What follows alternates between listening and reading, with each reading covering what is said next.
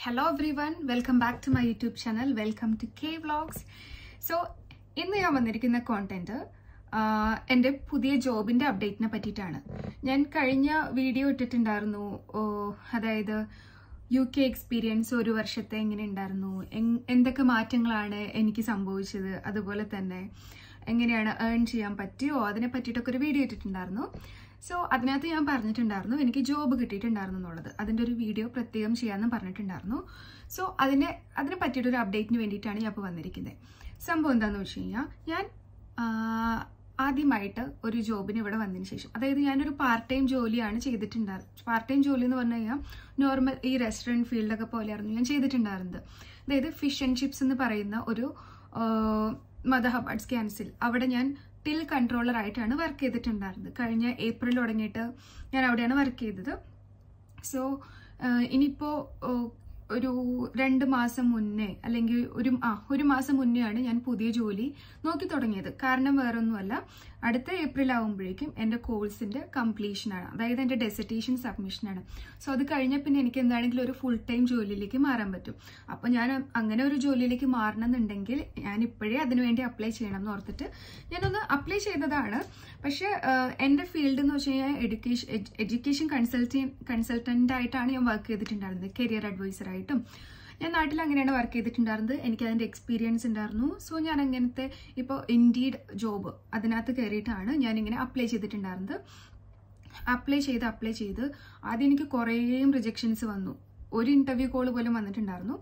എന്നാലും ഞാൻ പിന്നെയും പിന്നെ അപ്ലൈ ചെയ്തു. കാരണം നമുക്ക് അപ്ലൈ ചെയ്ത് അപ്ലൈ ചെയ്തിട്ടാണ്. എന്താണെങ്കിലും നമുക്ക് ഒരെണ്ണം കിട്ടും. കിട്ടാണ്ടൊന്നും ഇരിക്കില്ല. കാരണം അത്രയ്ക്ക് ഓപ്പർച്യൂണിറ്റീസ് ഉണ്ട്.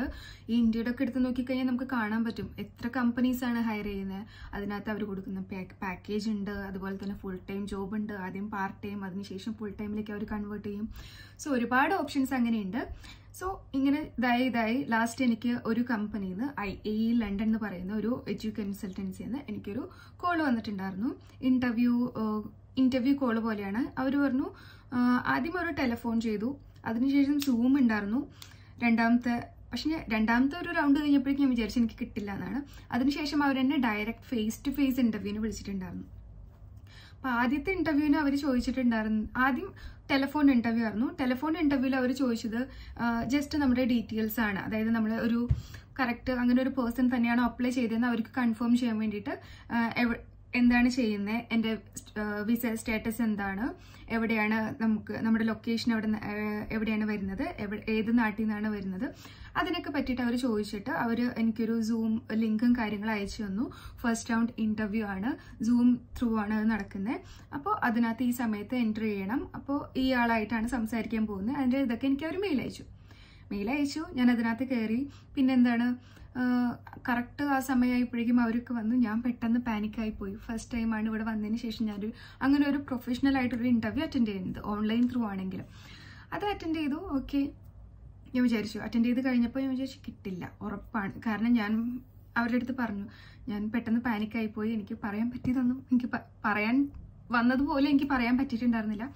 പക്ഷേ എന്തോ ഭാഗ്യം. രണ്ട് ദിവസം കഴിഞ്ഞപ്പോഴേക്കും അതിനകത്ത് ഞാൻ സെലക്ട് ആയി. Last phase two phase interview ഉണ്ട്. അതിന് വേണ്ടി വരണം എന്നൊക്കെ പറഞ്ഞു. പിന്നെ എന്താണ്? ഡയറക്റ്റ് ഞാൻ പോയി.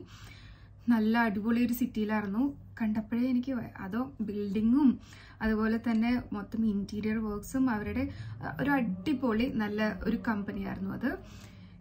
എന്നിട്ട് ഞാൻ അവിടെ ചെന്നു. ചെന്നപ്പോൾ തന്നെ മൊത്തത്തിൽ ഒറ്റ നോട്ടത്തിൽ എനിക്ക് അതൊക്കെ ഇഷ്ടമായി. മൂന്ന് പേരാണ് ഇന്റർവ്യൂ ചെയ്യാനായിട്ടുണ്ടായിരുന്നത്. മൂന്ന് പേരും ലേഡീസ് ആയിരുന്നു. അവർ വന്നിട്ട് എന്റെ അടുത്ത് ഇൻട്രൊഡക്ഷനിലാണ് സ്റ്റാർട്ട് ചെയ്യാൻ പറഞ്ഞത്. സോ അങ്ങനെ നമ്മൾ തുടങ്ങി. ഇൻട്രൊഡക്ഷനൊക്കെ ഞാൻ നല്ലപോലെ പ്രിപ്പയർ ചെയ്തിട്ടായിരുന്നു പോയിട്ടുണ്ടായിരുന്നത്. ഇൻട്രൊഡക്ഷൻ പറഞ്ഞു. അതുപോലെ തന്നെ അവർ എന്റെ അടുത്ത് ഓരോ ക്വസ്റ്റ്യൻസ് ചോദിക്കാൻ തുടങ്ങി. നോർമൽ ഇന്റർവ്യൂസിന്റെ അതായത് എങ്ങനെയാണ് ഈ സിറ്റുവേഷൻ ഹാൻഡിൽ ചെയ്ത്? ഇങ്ങനെയാണെന്നുണ്ടെങ്കിൽ ഇങ്ങനെയും ഇത്ര നാളിപ്പോൾ ഫോക്കസ് ചെയ്തിട്ടുണ്ടായിരുന്നോ? ടാർഗറ്റ് അച്ചീവ്മെന്റ് ഫോ എന്തൊക്കെയായിരുന്നു ഫോക്കസ് ചെയ്തിട്ടുണ്ടായിരുന്നത്? അങ്ങനെ അങ്ങനെ കുറേ കാര്യങ്ങളൊക്കെ ചോദിച്ചു.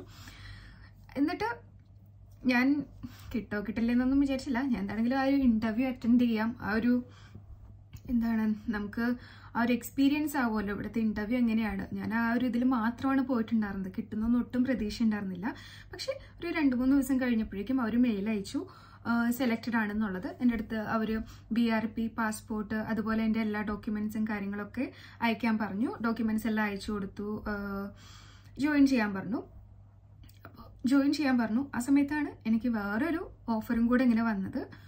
അതാണെങ്കിൽ ഇപ്പോൾ ആദ്യം ഞാൻ പറഞ്ഞ സ്ഥലത്ത് നിന്ന് വെച്ച് കഴിഞ്ഞാൽ എനിക്ക് ഇവിടെ നിന്ന് ഒരു ഒരു മണിക്കൂർ ട്രാവൽ ഉണ്ട്. ട്രെയിൻ ട്രെയിൻ ത്രൂ പിന്നെ രണ്ടാമത് എനിക്ക് പിന്നെയും ഒരു ഓഫർ വന്നു. അതും ഇന്റർവ്യൂ ഒക്കെ കഴിഞ്ഞു അതിന്റെ ഇടയിൽ അതെന്ന് വെച്ച് കഴിഞ്ഞാൽ just near to my home ആണ്. അതായത് സെവൻ മിനിറ്റ്സ് വർക്ക് ഉണ്ടായിരുന്നുള്ളൂ ഇവിടുന്ന്.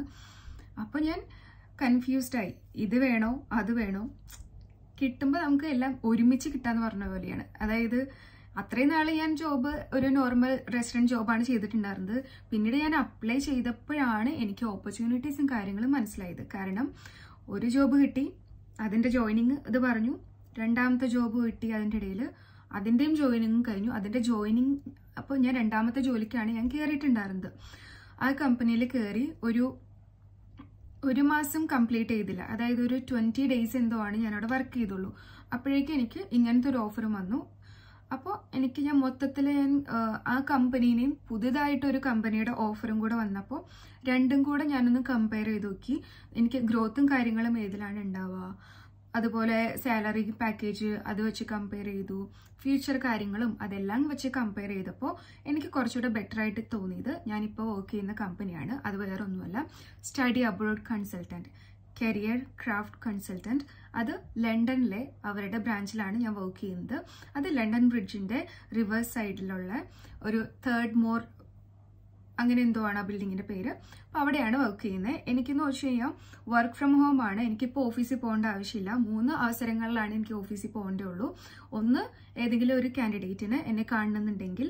രണ്ട് ഏതെങ്കിലും ഇവന്റ്സ് വരികയാണെങ്കിൽ. മൂന്ന് യൂണിവേഴ്സിറ്റി ഓരോ യൂണിവേഴ്സിറ്റിയിൽ നിന്നും ചില സമയങ്ങളിൽ വിസിറ്റ് ഉണ്ടാവാറുണ്ട്.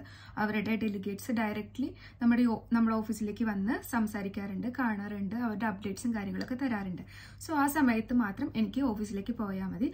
ബാക്കിയെല്ലാം എനിക്ക് വർക്ക് ഫ്രം ഹോം ആണ്. സോ വർക്ക് ഫ്രം ഹോം എന്ന് പറയുമ്പോൾ ഞാൻ ചിന്തിച്ചത് ഒന്ന് എനിക്ക് ട്രാവൽ കോസ്റ്റ് ആണ്.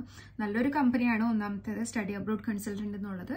ഞാൻ അതിന്റെ എല്ലാ കാര്യങ്ങളും ഡീറ്റെയിൽസ് ഒക്കെ ഇന്റർനെറ്റ് ത്രൂ നോക്കി. അവർക്ക് ഒരുപാട് ബ്രാഞ്ചസ് വരുന്നുണ്ട്. ഇന്ത്യയിലും അവിടെയായിട്ടും യു എസിലുണ്ട് കാനഡയിലുണ്ട് യു കെയിലും ഉണ്ട് അവർക്ക് ഓഫീസ്. ഞാൻ അവിടെ ലണ്ടനിലുള്ള ഒരു ഓഫീസിലാണ് എനിക്ക് കിട്ടിയിരിക്കുന്ന placement so work from home ആണ്. അതുകൊണ്ട് എനിക്ക് ട്രാൻസ്പോർട്ടേഷൻ ചാർജ് ഒന്നുമില്ല. എനിക്ക് വീട്ടിൽ ഇപ്പോൾ ട്വന്റി അവേഴ്സ് അവർ ആദ്യം പറഞ്ഞു ഓ ഇപ്പോൾ സ്റ്റുഡന്റ് ആണ് അല്ലേ ഇപ്പോൾ കോഴ്സ് കഴിഞ്ഞിട്ട് അങ്ങനെ ഒരു സംസാരിച്ചിട്ടുണ്ടായിരുന്നു. ഞാൻ പറഞ്ഞു എനിക്ക് എന്റെ കോഴ്സ് ഏപ്രിലിൽ തീരും. പിന്നെ അതിനുശേഷം എനിക്ക് ഫുൾ ടൈമിലേക്ക് മാറാമെന്ന് പറഞ്ഞു. അപ്പോൾ അവർ എന്നാൽ ഓക്കെ കുഴപ്പമില്ല. നമുക്ക് അങ്ങനെ ചെയ്യാമെന്ന് പറഞ്ഞിട്ട് എന്തോ ഭാഗ്യത്തിന് അവരത് സമ്മതിച്ചു. അതിനുശേഷം ഞാൻ ജോയിൻ ചെയ്തു. ഇപ്പോൾ വർക്ക് കണ്ടിന്യൂ ചെയ്ത് പോവാണ്. ആ പിന്നത്തെ ഒരു സംഭവം എന്ന് വെച്ച് കഴിഞ്ഞാൽ ഞാനിവിടെ കയറാൻ നേരത്ത് ഫുൾ ടൈം ആണ്. അതായത് പാർട്ട് ടൈം ജോബായി ഏപ്രിലിൽ ഫുൾ ടൈമിലേക്ക് കയറാമെന്നാണ് ഞാൻ വിചാരിച്ചിട്ടുണ്ടായിരുന്നത്. ഞാൻ എന്റെ ടേം ലെറ്ററും കാര്യങ്ങളും എടുത്തു നോക്കിയപ്പോഴും അതിനകത്ത് കോഴ്സ് എൻഡ് ഡേറ്റ് എന്ന് പറയുന്നത് തേർട്ടി ഫസ്റ്റ് ഓഫ് ഏപ്രിൽ എന്നാണ് കൊടുത്തിട്ടുണ്ടായിരുന്നത്. പക്ഷേ ടേം ലെറ്ററിൽ കോഴ്സ് എൻഡ് ഡേറ്റ് അതാണെന്നുണ്ടെങ്കിലും അതായത് സബ്മിഷൻ ഞങ്ങളുടെ ലാസ്റ്റത്തെ ഡെസർട്ടേഷന്റെ സബ്മിഷൻ വരുന്നത് ഏപ്രിൽ ട്വന്റി ഫസ്റ്റ് ഫസ്റ്റിനാണ് അത് കഴിഞ്ഞ പിന്നെ ഞങ്ങൾക്കൊന്നുമില്ല. ശരിക്കും ഞങ്ങൾ ഫ്രീ ആണ്? ഒന്നും പഠിക്കാനുമില്ല ഒന്നുമില്ല അസസ്മെന്റും ഒന്നുമില്ല. പക്ഷേ എന്റെ യൂണിവേഴ്സിറ്റി എന്താ ചെയ്തതെന്ന് വെച്ചാൽ മിക്ക യൂണിവേഴ്സിറ്റി എങ്ങനെയാണെന്ന് വെച്ച് കഴിഞ്ഞാൽ കോഴ്സിന്റെ ആ ഒരു ഇത് കഴിഞ്ഞാലും അവർ ഒരു ടേമും കൂടെ ചുമ്മാ ഇടാണ്. രണ്ട് മാസം ആണ് അതിന്റെ ആ ഒരു ഡ്യൂറേഷൻ വരുന്നത് സമ്മർ ടേം എന്ന് പറഞ്ഞിട്ട് ഇടുക. അപ്പോൾ ഏപ്രിലിൽ കോഴ്സ് കഴിഞ്ഞാലും എനിക്ക് ജൂൺ ഏപ്രിലും മെയ്യും ജൂണും ജൂണ് ഒരു ലാസ്റ്റ് ഒക്കെ ആകുമ്പോഴാണ് എനിക്ക് ഫുൾ ടൈം ആയിട്ട് വർക്ക് ചെയ്യാൻ പറ്റുള്ളൂ. അതുവരെ കോഴ്സ് കംപ്ലീറ്റ് ആണെങ്കിലും ജസ്റ്റ് ഒരു പേരിന് വേണ്ടിയിട്ട് യൂണിവേഴ്സിറ്റി സമ്മർ ടൈം എന്നും പറഞ്ഞ് ആഡ് ചെയ്തേക്കാണ്.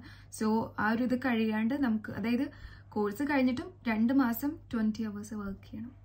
അതാണ് പറഞ്ഞു വന്നത്. പക്ഷെ അങ്ങനത്തെ പ്രശ്നങ്ങളൊക്കെ ഉണ്ട്. പക്ഷെ കുഴപ്പമില്ല. രണ്ട് മാസം കൂടെ സഹിച്ചു കഴിഞ്ഞാൽ നമുക്ക് ഫുൾ ടൈമിലേക്ക് കയറാം. അപ്പം എനിക്ക് വന്നിരിക്കുന്ന ഓഫറും അങ്ങനെ തന്നെയാണ്. കോഴ്സ് കംപ്ലീറ്റ് ആയതിനു ശേഷം ഫുൾ ടൈമിൽ ആയിട്ട് കയറാൻ പറ്റും. സോ ഇതൊക്കെയാണ് പിന്നെ ഒരുപാട് പേർക്ക് സ്പോൺസർഷിപ്പിന്റെ കാര്യം ഉണ്ടാവും. സ്പോൺസർഷിപ്പ് ഡിപ്പെൻസ് ഓൺ നമ്മുടെ പെർഫോമൻസ് ആണ്.